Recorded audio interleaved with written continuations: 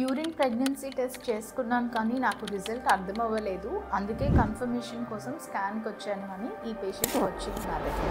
Urine pregnancy test early morning first void చేస్తే urine శాంపుల్తో చేస్తే అక్యురేట్ రిజల్ట్స్ వస్తాయి. And once you put the drops into the urine wait for two minutes don't try to read the result immediately ఒక few two minutes time ఇచ్చి దాని తర్వాత చూడండి. That will give you a better information and sometimes అంత dark line రాదు. Very faint line వస్తుంది. దాన్ని weakly positive urine pregnancy test అంటాము. Even if it is weakly positive test there could be a pregnancy కాకపోతే అది నార్మల్గా intrauterine pregnancy అయినా అయి ఉండొచ్చు. ఆర్ ఎక్టోపిక్ ప్రెగ్నెన్సీ అంటే ట్యూబ్ ఆర్ ఓవరీస్లో ప్రెగ్నెన్సీ అయినా ఉండుండొచ్చు. So when you get a weakly positive test get a scan done and serum beta HCG అని ఒక బ్లడ్ టెస్ట్ ఉంటుంది. అవసరమైతే అది కూడా చేయిస్తారు.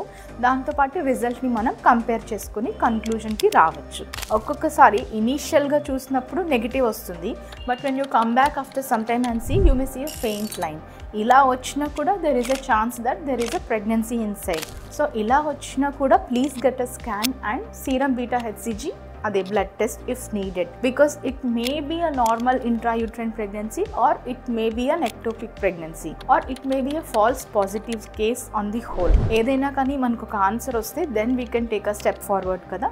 So I'm suggesting you to go get a scan and serum beta HCG in such unequivocal result cases